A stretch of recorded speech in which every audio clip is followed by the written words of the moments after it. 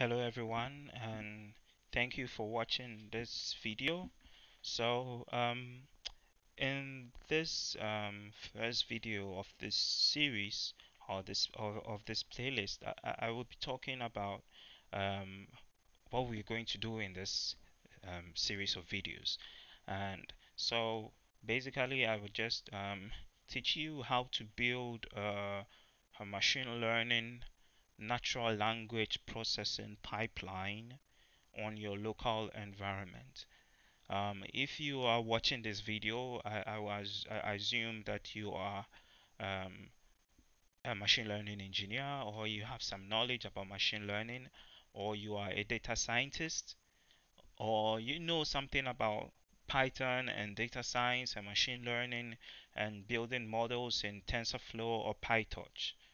Um, so it's this this series is not for beginners. Um, if you are a beginner in data science, you can still watch it, but I'll advise that you gain some data science experience before watching this um, um, video because I, I would not be doing things like helping you set up um, a, your local environment with Anaconda or helping you set up Python 3.8. I assume you already have the knowledge to set these things up.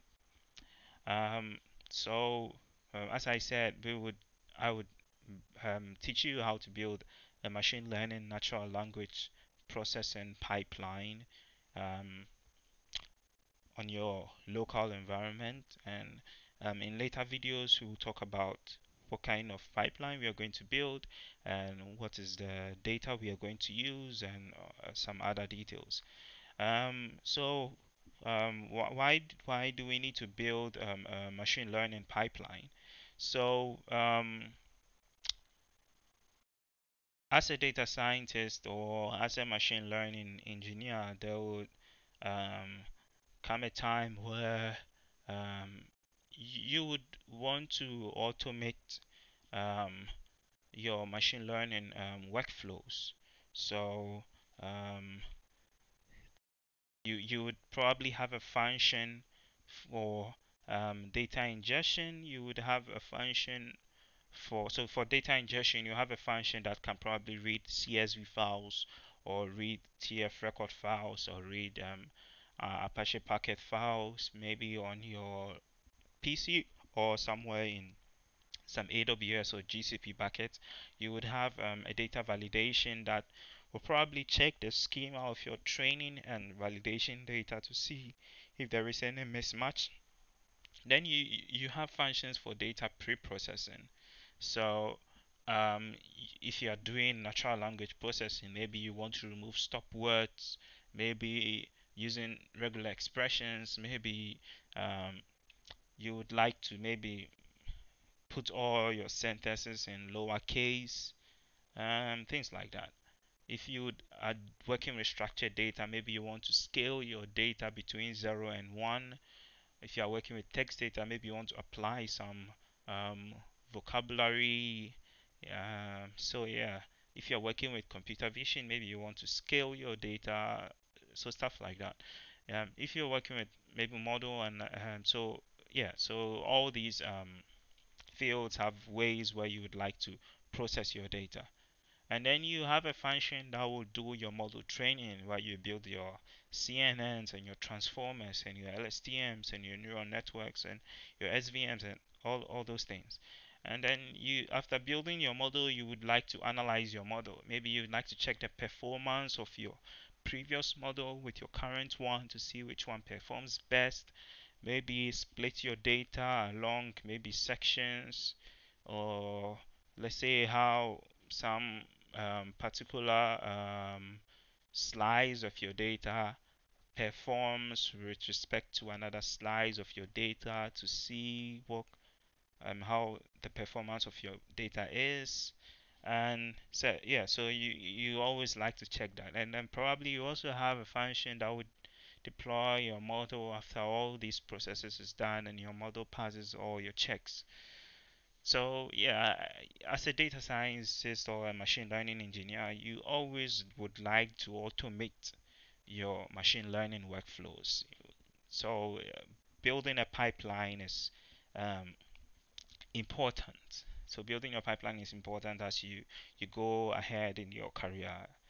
Um, so um,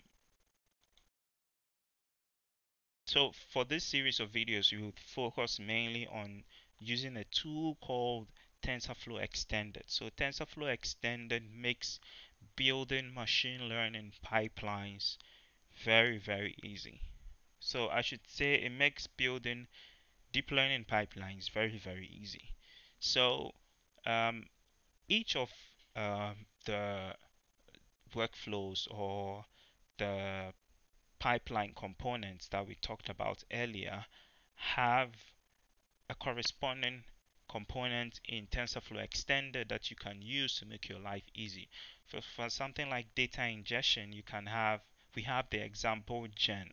So example gen is a component that can help you read CSV files, it can read TF record files, it can read um, um, Apache Parquet and Apache Avro files. And then we also have um, the statistics gen, schema gen, example validator that would help you do your data validation. So these components are all part of the um, TFX ecosystem. If you are not using the TFX ecosystem but you still want to validate your data, there is a library um, which is the TensorFlow data validation. Actually, statistics gen, schema gen, example validator are all using this library under the hood. Um, so for data preprocessing, there is TensorFlow Transform. Um, if you don't want to use TensorFlow Transform or you don't want to use the TFX component, you have there is the TensorFlow um, Transform Library or TFT, which you can use. For model training, there is the trainer. For model analysis, there is um, the evaluator, resolver node, and the pusher.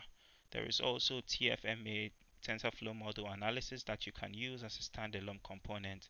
And then we have model deployment. There is TensorFlow serving that you can use to deploy and serve your models.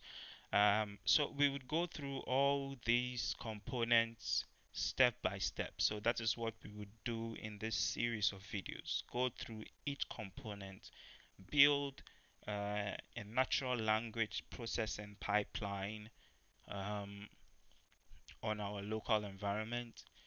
And then when we are done with understanding what these components do and how to build this um, our machine learning pipeline with these components on our local installation of um, Python, and we would move all these workflows into the cloud and see how we can build these pipelines in the cloud.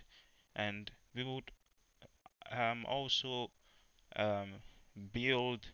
Um, we also deploy our, our, model onto a Kubernetes cluster after building um, our pipeline so that we can send inference requests to our um, deployed model because that is the, the, the, the goal of data science and machine learning. A model is not useful unless you can deploy for other people to use. If you build your a model alone and you are just using it, it doesn't really have any value.